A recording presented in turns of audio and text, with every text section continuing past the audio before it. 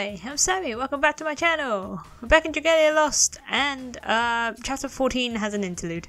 Hopefully, this will actually go into what the hell, who the hell that guy was. Oh, Princess Zethia, why couldn't I? I don't know, Ellie. Who's there? Oh, yeah. Why? Why did you let her go in the first place? I'll be taking the Auspex now, or should I say, I will be taking my younger sister. No, you cannot be. Is that him? Oh. Hmm. You must be the paladin I've heard so much about. Ezan, was it? How do you know my name? I will repeat myself only once, Ezan. Give me Zethia. Move no closer, fiend, or I shall cut you down where you stand. Oh, I did not realize it was the paladin's charge to obstruct the reunion of royals. Eh? But royals? You lie through your teeth. Answer me this. What drives you to take up your lance? Spare me your rhetoric. All I do is in service to his majesty. I see, and in exchange, what does your prince promise you? Nothing less than peace, of course. His Majesty's heart is kind and his ideals pure. He will see this world free from conflict, unlike you! Ideals and kindness alone are hardly enough to bring peace. You risk your very survival by throwing your lot behind such a pitiful platform. Every force in the world is vying for supremacy while parading their truths and ideologies. To take them on with such lukewarm resolve is tantamount to suicide. Wow, dude, calm your tits. What do you believe in, Elisanne? Not as a paladin, but as a person. Eh? I believe in Doopy. Fire cannot let his words poison my heart.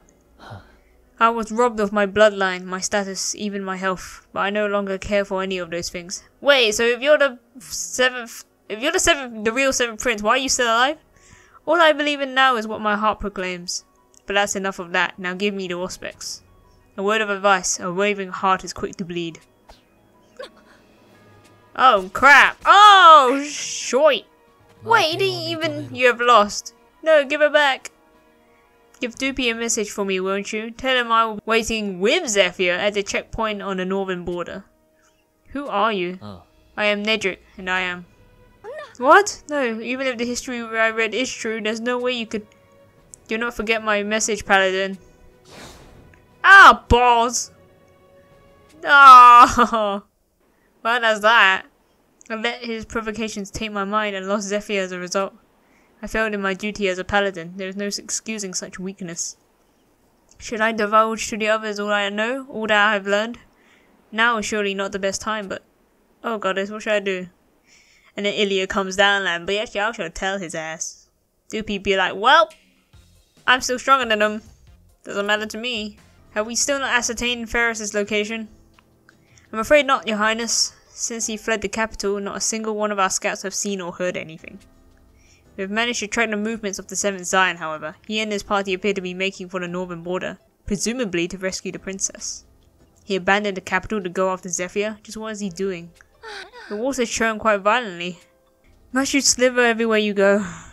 Hey, Chow. Come now, brother dearest, don't be cruel. I'd heard you were injured quite severely. Are you well? It was hardly to be. yes, you look as hale as can be. It does my heart well, but I must admit to some manner of disappointment. How excited I was to see my dear, dear brother weakened and wizened by injury. Enough. Speak your business and be gone before my patience falters. wow, some family you guys are. Yes, yes, I shall get to my point. You've been keeping secrets, brother, and I think it's time to share. Say, for example, something about the fifth scion. I know you colluded with our father to seal him away in the castle, our little brother, whom I have yet to see with my own eyes. いや I did not collude. I took over the watch after our father's death, yes. But it was purely out of necessity. The power of his black mana had only grown more terrible over time. Killing him was no longer an option. He had been in danger since birth. He entered this world swaddled in the most ebon of manner. Killing him would then have been the best course for Alberia, but father did not do so. Instead, he locked him away in the deepest re- recesses of the palace. And now, Farren has freed them in hopes of harnessing the other's power. Damn him, he has put all of Alberia, no, all of the world at impossible risk. Power so potent it can produce void dragons and consume the other entirely. It's no wonder Paris would set his eyes upon it. I've been concerned about his activities for quite some time. As soon as I learn what he was planning, I shall send word.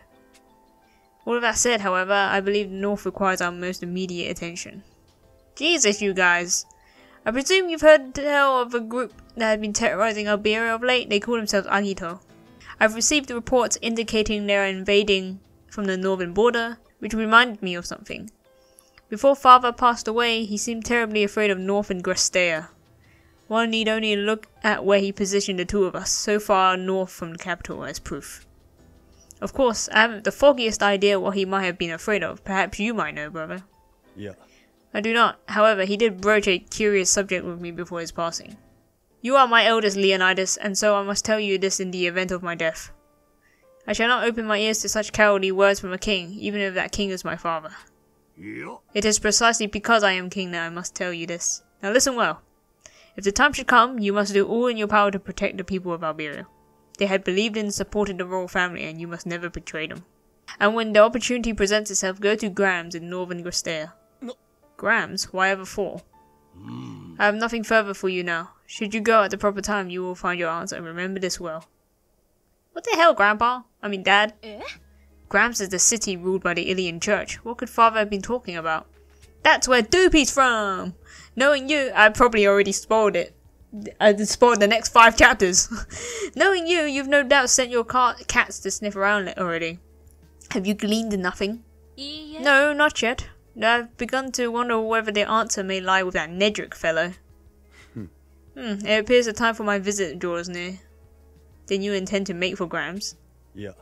Not yet. I shall remain here and wait for kilograms. Um, uh, for the main to, to maintain a watchful eye on both the capital and the north. That was terrible. Uh, with the other exiles, many eyes will doubtless wander towards the vacant throne, and Valyx, who maintained the peace, has left on an expedition. Indeed, and what of the church? I am aware of the suspicious dealings. We must not show any sign of weakness, now more than ever. You've been paying close attention, I see. Well, this was an utterly delightful ren- rendezvous, but it's time I took my leave. Wait. Oh, is there something else? Or are you so reluctant to be parted from your sister? Spare me your mockery. I want you to protect Doopy. My my, what a curious development this is. Why would you ask this favor of me? He will be embroiled in tremendous hardship in the days ahead. Your support will be most wel- welcome, I think. Besides, would it not behoove you to hold a debt over him? You speak true, and yet is it wise? After all, we still don't know his true identity. I know all that I require. He is a man who does not shy away from the truth, and he is my brother besides.